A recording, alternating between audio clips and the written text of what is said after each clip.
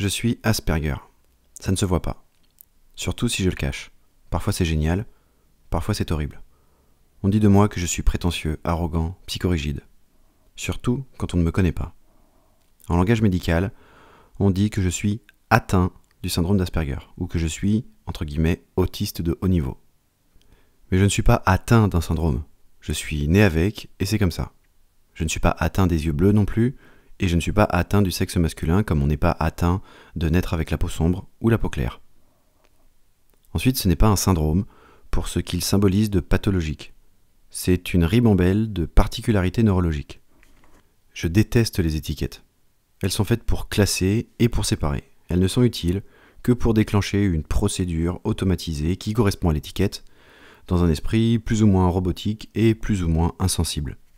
Mais une étiquette peut avoir un intérêt quand on sait quoi en faire. Et je vais donc d'abord la définir, parce que j'adore les définitions. Le syndrome d'Asperger, c'est un ensemble de particularités qui concerne 2,5 personnes sur 10 000 et qui entre dans la catégorie des TSA, les troubles du spectre autistique, qui, eux, concernent 60 personnes sur 10 000. Encore une case, encore un trouble. D'ailleurs, on pourrait se demander pourquoi on appelle ça un trouble. Bref. Il y a la présence de particularités ou de difficultés, ou de troubles, selon le vocabulaire qu'on a envie d'employer, dans trois domaines. Le premier, c'est des troubles dans les interactions sociales. Le deuxième domaine, c'est des troubles dans la communication. Et le troisième domaine sont des troubles dans les comportements et dans des intérêts stéréotypés. Sauf qu'il est important de rappeler que pour déterminer s'il y a un trouble ou non, il ne faut pas qu'il y ait une souffrance. Il faut qu'il y ait une norme. La norme, ce n'est qu'une statistique. Et les statistiques, c'est comme les chiffres, c'est comme les mots. Sans leur contexte, c'est inutile. Je reviendrai sur la notion de norme un tout petit peu plus tard. On va revenir brièvement sur les particularités dont j'ai parlé, ou les troubles d'ailleurs. Ces particularités englobent souvent, c'est-à-dire statistiquement, une hypersensibilité, une hypersensorialité, un quotient intellectuel élevé, des difficultés dans les interactions sociales et des centres d'intérêt assez stéréotypés. Toutes ces particularités mélangées et simultanées donnent souvent un individu relativement inadapté à l'ensemble des structures sociales et sociétales qui sont créées pour 90% de la population. Et ces 90% de la population entrent beaucoup plus facilement dans les cases de la fameuse normalité. Alors c'est quoi la normalité? Moi je préfère parler en chiffres, c'est souvent plus clair, plus objectif et moins source d'interprétation. Et je déteste, en tout cas je suis mal à l'aise avec les interprétations. Donc on va utiliser cette courbe qui est une densité de probabilité, appelée communément courbe de Gauss ou courbe en cloche. D'ailleurs c'est amusant, mais en probabilité, accrochez-vous bien, elle s'appelle la loi normale. En gros c'est simple, vous prenez une variable aléatoire dans la population, par exemple euh, la taille ou le quotient intellectuel. Vous choisissez 100 personnes dans la rue, par exemple en plein Paris, et vous mesurez toutes les femmes. Et sur un graphique, ça donne une répartition de la variable aléatoire qui est donc la taille. Et ça donne donc une répartition de la normalité. En l'occurrence, comme vous pouvez le voir sur cette courbe de Gauss, eh euh, il va y avoir environ 70% de la population féminine qui va mesurer entre 1m54 et 1m72, et 95% de la population qui mesurera entre 1m45 et 1m81. Si vous faites la même chose à Hanoï, au Vietnam, eh bien la courbe sera identique en forme, mais pas en mesure, elle sera décalée vers la gauche parce que les Vietnamiennes sont plus petites que les Françaises. Là j'ai pris volontairement l'exemple de la taille pour montrer que la normalité dépend du contexte. D'un point de vue scientifique, c'est la seule façon qu'on a de définir ce qu'est la normalité d'un point de vue, on va dire, intelligible. Si j'ai fait cette parenthèse, c'est pour vous expliquer ce qu'est la notion de normalité. Le petit problème, c'est que tout le système de notre monde est construit et programmé pour répondre à la logique. Si on peut parler de logique, on va plutôt dire des mécanismes neurologiques, psychologiques et cognitifs, des 90 ou 95% de cette fameuse norme. Et l'autre petit problème, c'est que quand on est Asperger, eh bien on est dans beaucoup de domaines, soit complètement à gauche, soit complètement à droite de la courbe donc, eh bien, anormal, inadapté par essence à la société et au code de cette société. Jusqu'à l'entrée à l'école à 4 ans, mes repères de normes étaient ma mère et ma grand-mère, elles-mêmes assez euh, particulières, dirons-nous. Et mon autre repère, c'était mon père, particulièrement bien adapté, lui, voire trop adapté. Puis ensuite, il y a eu le monde, le grand bain, les gens, l'école, les procédures. La norme, justement. C'est donc parti pour que l'inadaptable, c'est-à-dire moi, s'adapte, de force. Faire rentrer un carré dans un rond, en quelque sorte. Mais avant ça, revenons deux secondes sur la notion d'hypersensorialité et d'hypersensibilité. Quand on parle d'hypersensorialité, on fait référence aux cinq sens, et surtout, surtout leur exacerbation. Il faut imaginer le bouton de volume de la télé ou d'un ampli. Si vous voulez vous mettre 30 secondes à ma place dans la rue, ça donne ça. Plus ça. Plus ça.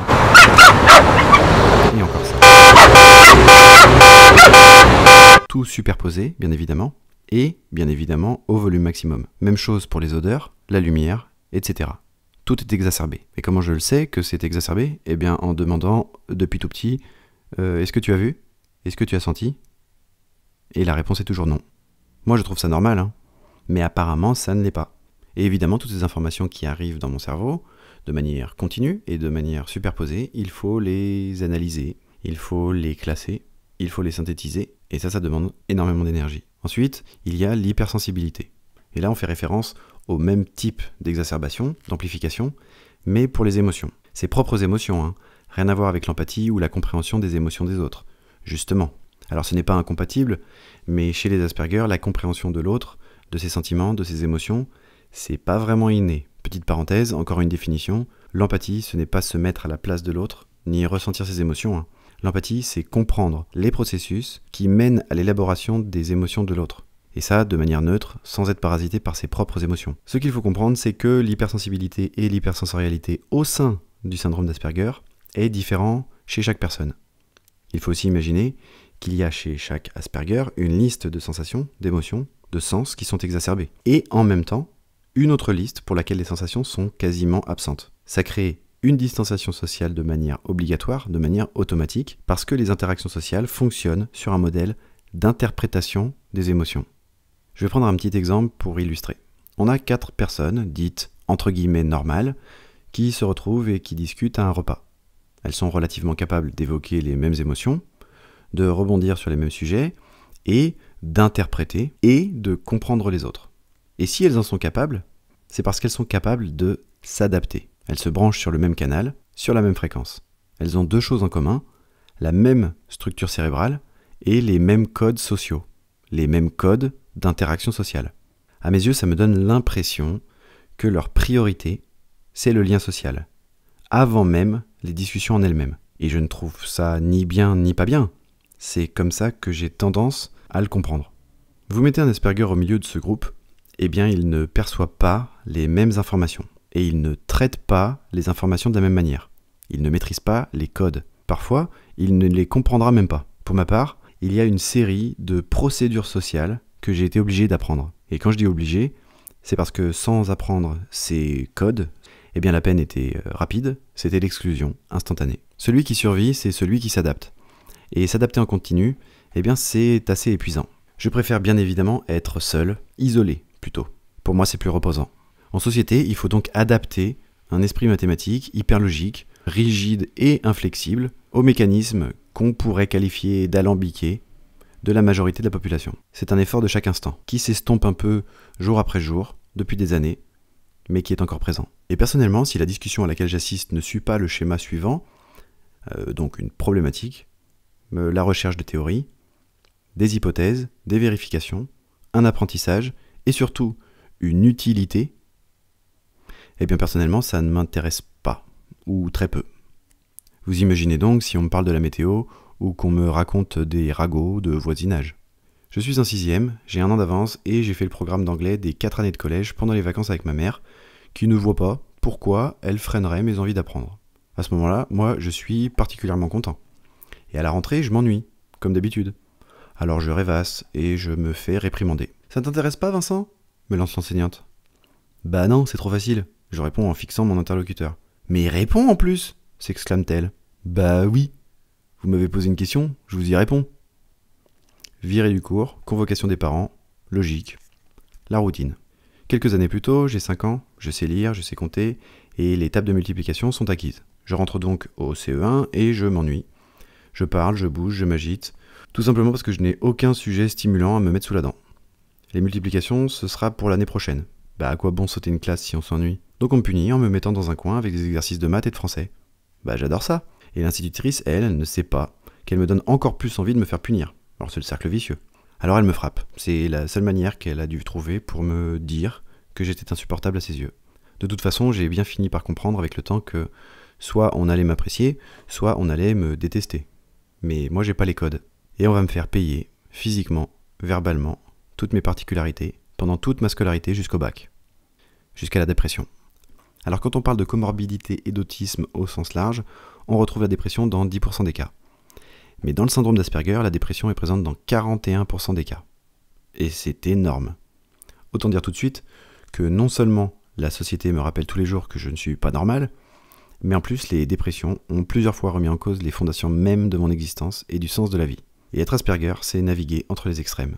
Être Asperger, c'est naviguer au rythme des contextes et des incompréhensions dans lesquels on évolue. Parce que ces contextes-là, ils peuvent être aussi bien destructeurs comme source de plénitude. Mais la neutralité, elle n'existe pas dans cette vie d'anormal. Alors qu'est-ce qui différencie une personne Asperger d'une personne normale? Je fais bien évidemment exprès d'utiliser le mot normal. Hein.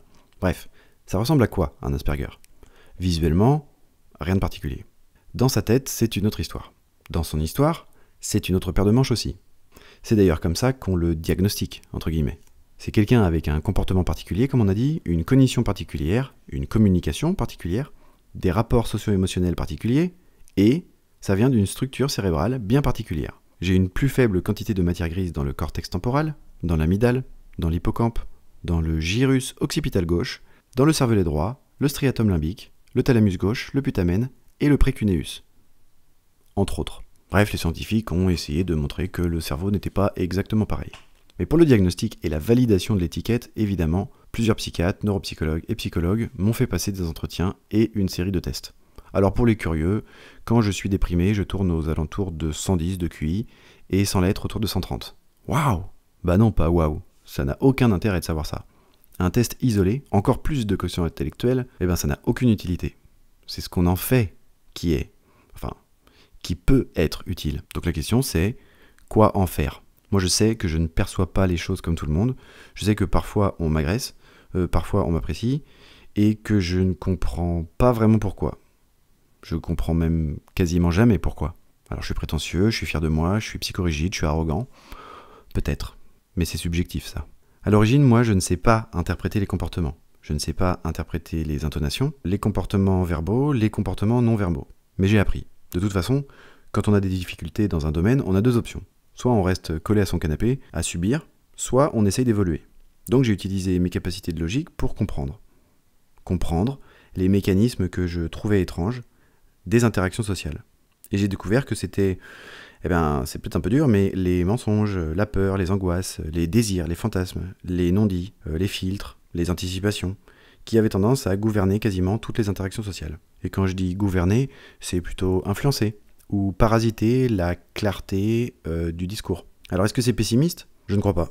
Est-ce que c'est triste? Bah peut-être. Est-ce que c'est hyper lucide? Très certainement.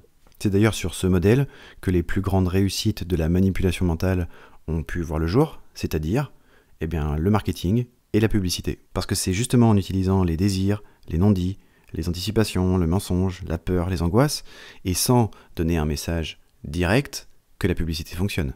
Donc théoriquement, tous ces mécanismes sont incompatibles avec ma logique cérébralement, euh, structurellement rigide et inflexible. Mais finalement, les processus qui mènent à la compréhension de l'autre sont hyper logiques, et ils suivent toujours une structure identique à mes yeux.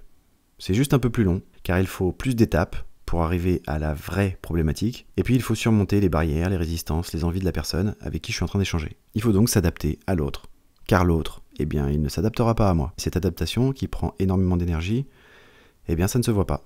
Prenons un exemple, un exemple récent, le premier truc qui me vient en tête. Euh, quand quelqu'un me demande est-ce que ça marche l'ostéopathie pour les migraines? Eh bien, je me retrouve dans une situation qui est typique. Dans mon cerveau, à ce moment-là, il y a deux options. Alors, petit 1, la réponse est non. Mais bon, euh, c'est un petit peu trop euh, radical, et en plus, c'est pas complètement vrai parce que ça dépend. Alors, peut-être la question mériterait-elle d'être formulée différemment. Mais je me rends bien compte que si je réponds non, en tout cas, ce n'est pas le genre de réponse que mon interlocuteur attend. Donc je risque de couper le dialogue. Alors, petit 2, je ne comprends pas la question. Même problème, si je lui dis que je ne comprends pas la question, je ne mets pas mon interlocuteur à l'aise dans ce cas. Alors attention, je mets pas de mauvaise volonté, hein. C'est euh, profondément sincère, je comprends réellement pas la question. Et le vrai problème, le vrai problème, c'est que toutes les questions, tous les échanges sociaux sont problématiques pour moi, parce qu'ils ont les mêmes codes. Pour moi, la question est mal formulée. Et si je reprends la question qui est est-ce que ça marche l'ostéopathie pour les migraines? Eh bien, euh, aujourd'hui, je sais bien que la personne voudrait des solutions parce que cette personne a mal à la tête. Euh, je comprends bien que c'est ça, en fait, le fond de la question. Mais instinctivement, moi, je réagis de telle manière. Je me dis, ça veut dire quoi? Est-ce que ça marche? Ça veut dire quoi une migraine? Est-ce que c'est une migraine ou une céphalée? Est-ce que mon interlocuteur il en a ou c'est quelqu'un de sa famille qui en a? Donc est-ce qu'il l'a expérimenté en gros? Euh, Ça veut dire quoi l'ostéopathie? Qu'est-ce que la personne connaît de l'ostéopathie? Est-ce qu'on parle de l'ostéopathie en général ou de certaines approches de l'ostéopathie? Ensuite on me demande mon avis ou on me demande une réponse scientifique? Ensuite, on me demande mon expérience d'ostéopathe ou de kiné. Euh, on me pose une question euh, pour faire la discussion ou alors il y a un vrai intérêt derrière? Quelles sont les connaissances et les expériences de la personne qui pose la question bah, Si je ne sais pas euh, ce qu'il connaît déjà, on va perdre du temps et puis on va répéter des trucs déjà acquis ou complètement inutiles. Vous voyez, c'est quand même assez chiant. C'est quand même assez lourd. Mais si la question était bien posée, peut-être que je ne serais ni chiant ni lourd. D'ailleurs, je préfère préciser que c'est quand même beaucoup plus chiant et beaucoup plus lourd pour moi. Hein.